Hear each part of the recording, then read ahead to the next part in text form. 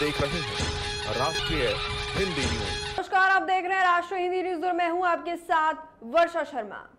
सरकार असहाय लोगों के हित में योजनाएँ तो बनाती है, लेकिन क्या वो धरातल पर सफल होती हैं? क्या मजबूर लोगों को इन योजनाओं का कोई लाभ मिलता है? इन सारे सवालों के जवाब आपको हमारी ये रिपोर्ट देखकर मिल जाएँगे। दरअसल, जोधपुर में प्रधान और अधिकारियों की मिली भगत से मनरेगा योजना में बड़ा घोटाला सामने आया है। चलिए पहले इस योजना को समझते हैं कि इसको लाने का मकसद क्या था और कैसे ये असहाय लोगों के हित में है। मनरेगा, यानी महात्मा गांधी राष्ट्रीय ग्रामीण रोज़गार गारंटी अधिनियम। ये एक सरकारी योजना है, जिसके तहत ग्रामीण क्षेत्र के असहाय लोगों को साल में न्यूनतम 100 दिनों की रोज़गार की गारंटी दी जाती है। इसमें काम जुड़ा होता है सड़कें, नहरें, तालाब और कुएँ निर्माण से। इस तरह बेरोजगार लोगों को रोज़गार भी मिलता है और ग्रामीण क्षेत्रों का विकास भी होता है। लेकिन जैतारण के मुंडावा गाँव में नरेगा सिर्फ़ कागजों में ही चल रही है। आपको बता दें, पिछले तीन महीने से खुदाई, पिचिंग और सुरक्षा दीवार का काम वहाँ पर सिर्फ़ कागज़ी तौर पर दिखाया जा रहा है, जहाँ पर असलियत में एक इंच भी खुदाई नहीं हुई है। जिसकी जानकारी ग्रामीणों को लगी, तब मौके पर मीडिया कर्मियों को बुलाकर पूरे मामले का खुलासा किया गया।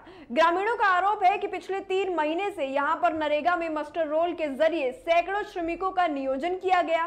कागज़ी तौर पर काम दिखाया गया और असल में काम हुआ ही नहीं। और इसी के चलते अभी तक तीन लाख से ज़्यादा का भुगतान भी उठा लिया गया है। चलिए सुनते हैं इस पूरे मामले का खुलासा करते हुए ग्रामीणों ने क्या कुछ कहा। जो कैलाश विमला डोली है, वो पुष्कर में रहते हैं, उनका नाम यहाँ चलता है। और जगदीश रेखा, वो बम्बई रहते हैं, उनका नाम यहाँ चलता है। और गोपी मूलाराम बम्बई रहता है, उनका नाम यहाँ चलता है। इतना फर्जीवाड़ा चला, और यहाँ के लोगों को पता ही नहीं। वो मुंडाओ गाँव है, जो बिडनाडो किला है, और घोड़ोड पंचायत में आवे। और पिछले तीन महीना हूँ, नरेगा चल रही है। बाई ओनली फॉर कागदाम चले और परसों रात को यहाँ पे जैसी भी चलाई। यानी कि कोई नहीं, कोई भी नहीं था और का, कानूनी कार यानी कि पेपरों में ही चलाया इन्होंने सब कुछ। बाकी यहाँ कुछ नहीं था ऐसा। और किसी को कोई पता नहीं है। गाँव को कोई पता नहीं भुगतान हो गया इसका? भुगतान कागजों में हो गया। टीचिंग हो गई?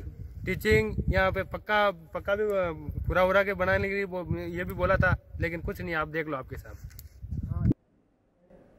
जैसा कि आपने सुना कि नरेगा श्रमिकों में कई ऐसे लोगों के नाम भी दर्ज किए गए हैं, जो मुंबई और अन्य राज्यों में रहते हैं, जिनके नाम पर भुगतान लिया जाता है।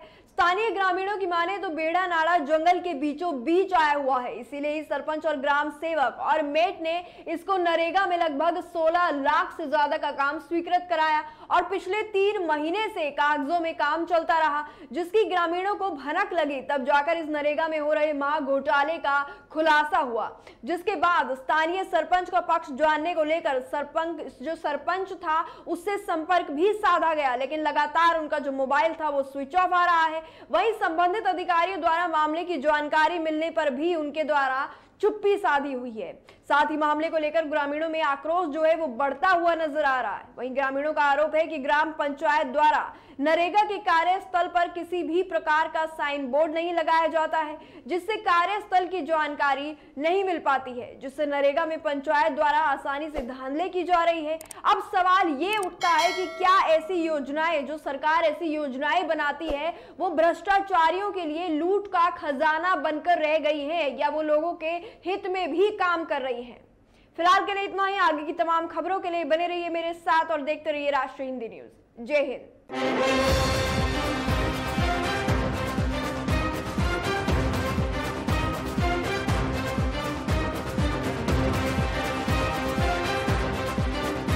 आप देख रहे हैं राष्ट्रीय हिंदी न्यूज़।